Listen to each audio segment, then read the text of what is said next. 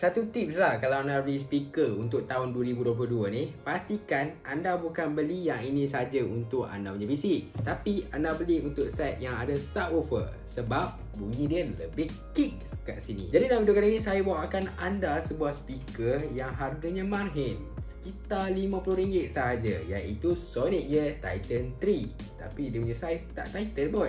Jadi jom kita mula. Assalamualaikum dan hai jadi untuk Sonic Gear Titan 3 ni anda boleh beli dekat Shopee ataupun Lazada. Saya dah sediakan link kat bahagian bawah dengan harga sekitar RM50. Dan setelah saya harga pasaran ni ialah RM55. Ada juga dijual kadang-kadang dekat Ion ataupun dekat Popular Bookstore kan. Anda boleh cari secara offline juga. Jadi first kali yang saya nak katakan dekat anda ialah tentang rekaan speaker ni. Sebab apa rekaan dia ialah first kali rekaan dia lebih futuristic tau. Rekaan dia bukan macam speaker-speaker biasa yang anda pakai sekarang kan? Anda pasang kiri dan juga kanan. Tak bad yang ini kita ada set kiri dan juga kanan dan juga subwoofer. Ini dia subwoofer dia. Kat sini mungkin anda tengok tak ada LED tapi dekat dia subwoofer ada LED kita ada control juga kat bahagian sini untuk on off untuk volume control pun boleh. Dekat bahagian bawah ni just anda adjust sahaja. Dan keboleh gunaan dia bukan sekadar sebuah speaker. Sebab dekat sini juga kita ada beberapa port. Antara kat atas ni kita ada USB dan juga memory card. Jadi kalau anda rasa anda nak mainkan lagu tapi bukan bukan melalui jack audio yang dia ada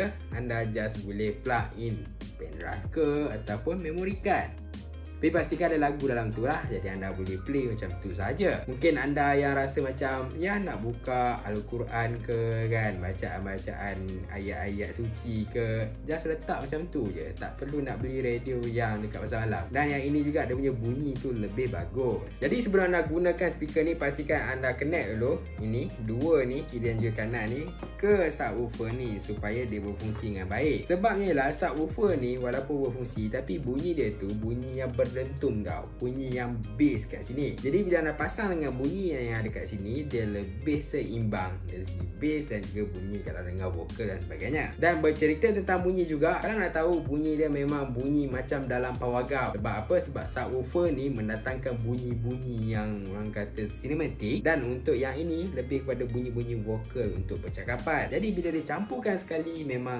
feeling power gum tu rasa Bukan sekadar feeling power gum Anda dengar lagu pun boleh terasa. Ha, dia punya feeling lain macam sikit. Anda nak main game pun tak ada masalah kat sini Sebab dia punya bunyi dia memang sedap. Cumanya kalau nak main game Saya lebih prefer guna audio jack lah. Sebab kalau anda guna bluetooth kat sini Dia mungkin ada slightly delay. Sebab kalau anda guna bluetooth Mungkin nak guna untuk TV boleh lah. Tapi pastikan TV anda ada bluetooth. Ataupun mungkin PC anda tu ada bluetooth Yang itu boleh guna. Tapi mostly untuk media. Kalau untuk main game Mungkin anda perlukan delay yang sangat rendah Saya kurang sarankan. Dan untuk dia punya kelantangan Walaupun kecil kat sini Tapi sebab nama dia Titan Dia punya bunyi tu kuat. Untuk satu ruang tamu yang agak luas Dekat rumah anda Boleh boleh dimainkan bunyi dia dan bunyi dia memang nyarik. Jadi mungkin nak dengar sikit macam mana bunyi speaker yang dikeluarkan kat sini kan. Jom kita test.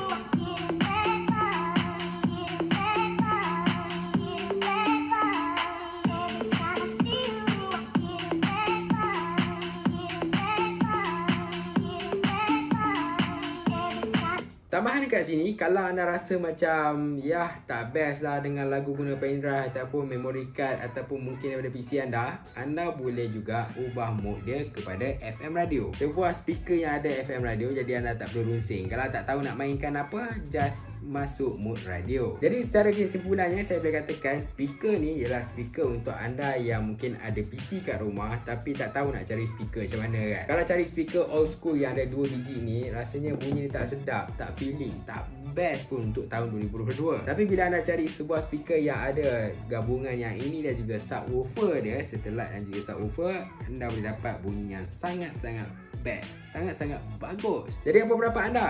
Dengan sekitar bajet RM50 anda dapat sebuah speaker yang bunyi dia sedap anda rasa ada pilihan lain tak? Jadi apa pendapat anda? Kalau pernah guna, anda tinggalkan komen anda. Best ke tak guna speaker ni? Dan apa pendapat anda yang lain? Tinggalkan komen kat bahagian bawah. Dan macam biasa jumpa like, subscribe juga share. Terima kasih. Jumpa lagi.